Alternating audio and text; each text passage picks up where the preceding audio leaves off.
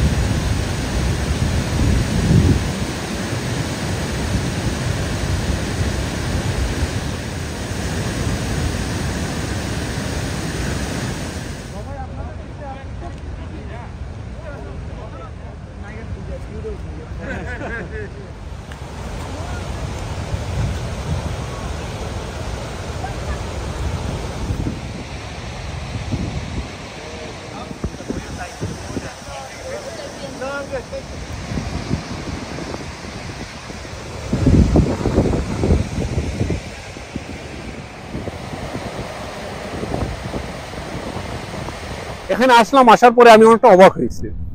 যেমন আপনারা দেখতে আহ, যে জলপ্রপাতটা আসলে দেখতে খুবই সুন্দর প্লাস হচ্ছে অনেকটা নায়াগ্রা ফলের যে যে একটা প্রোটোটাইপ হিসাবে মনে করা যায় মানে অনেকটা ফিল পাবেন।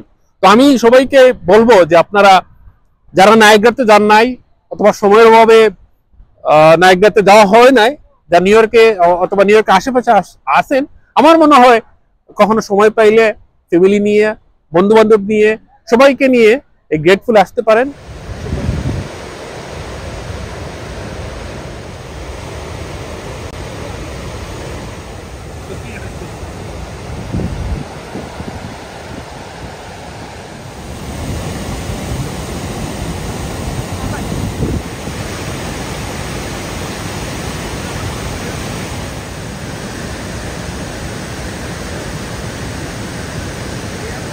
এটা খুবই সুন্দর।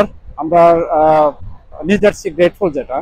আমরা আমাদের এই নিউ ইয়র্কের পাশেই এইটিন মাইলস আমাদের বঞ্চ থেকে ধরেন চল্লিশ পাঁচচল্লিশ মিনিট লাগে এবং আমার কাছে মনে হয় যাদের ওই ন্যাগ্রাফল তো অনেক দূর আমাদের নিউ ইয়র্ক সিটি থেকে অ্যাটলিস্ট সিক্স সেভেন বা এইট আওয়ার্স তো যারা ওই নাগাপুর যেতে চাচ্ছেন না, আপনারা এখানে আসেন, অত্যন্ত সুন্দর এবং প্রাকৃতিক এবং আমাদের নিউ ইয়র্কের পাশেই যেহেতু, তো আপনারা এখানে এসে অনেক ফ্যামিলি নিয়ে আসেন, আপনাদের অনেক আনন্দ এবং উপভোগ করতে পারবেন।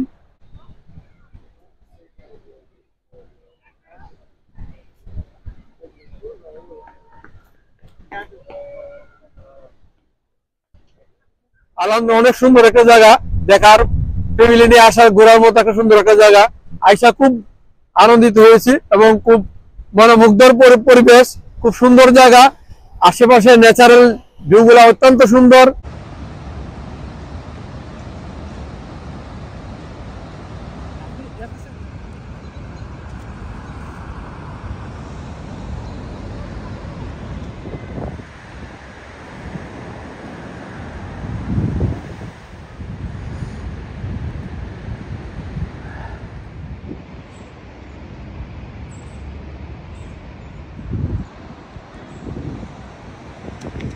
একটা একটা সেকেন্ড একটা সেকেন্ড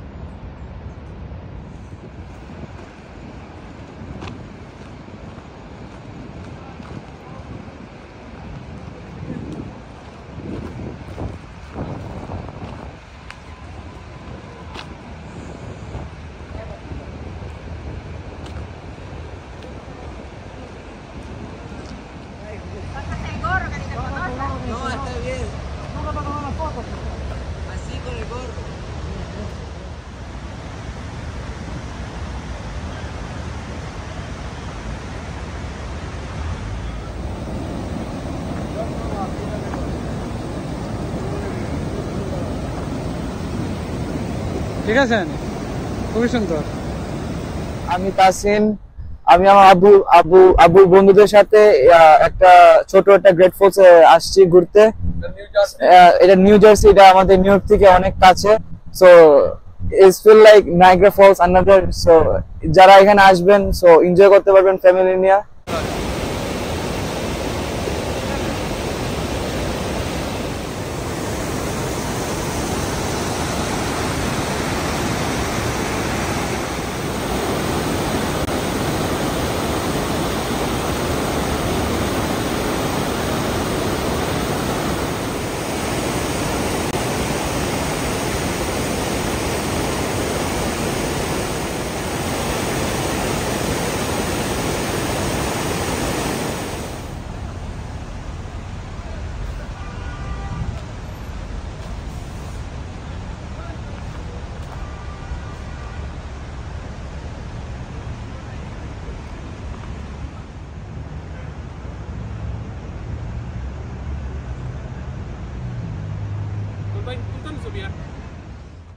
অসাধারণ, সুন্দর একটি প্রাকৃতিক ফলস আপনাদেরকে দেখালাম। তবে সব শেষে একটি সতর্কতার ব্যাপার আছে, সেটি হচ্ছে এখানে প্রচণ্ড ঠান্ডা। আপনি যখন প্রথমে এখানে এসে ঘুরবেন সামার কিংবা স্প্রিং যে কোনো সিজনেই কিন্তু কিছুক্ষণ এখানে থাকার পর প্রচণ্ড ঠান্ডায় আপনি আক্রান্ত হবেন। এবং আমাদেরকে দেখতে পাচ্ছেন, আমরা এখানে যখন আসছিলাম টি শার্ট পরে এসেছি এবং স্বভাবতই আমরা এখানে ভাবছিলাম যে যেহেতু এখন স্প্রিং সিজন এখানে তেমন কোনো ঠান্ডার ব্যাপার নেই। কিন্তু কিছুক্ষণ পর আমরা কিন্তু শীতে কাঁপছি এবং যে কারণে এখন আমাদেরকে জ্যাকেট পরতে হয়েছে। সেই কারণে শুরু থেকেই আপনারা যখন এখানে আসবেন তখন প্রয়োজনীয় প্রোটেকশন নিয়ে আসবেন এবং ফলসের পারে যখন হাঁটাচলা করবেন তখন কিন্তু আস্তে আস্তে ফলস থেকে যে ঠান্ডা এসে আপনাকে আক্রমণ করবে এবং জেগে বসবে, তখন আপনারা কিন্তু প্রচণ্ড ঠান্ডায় আক্রান্ত হবেন। সে কারণে আপনাদের সঙ্গে যখনই আসুন স্প্রিং ফলস স্প্রিং তারপর গ্রীষ্ম, শরৎ, বর্ষা যে কোনো সময় আসলে আপনাদের সঙ্গে কিন্তু শীতের একটা প্রোটেকশন থাকাই লাগবে।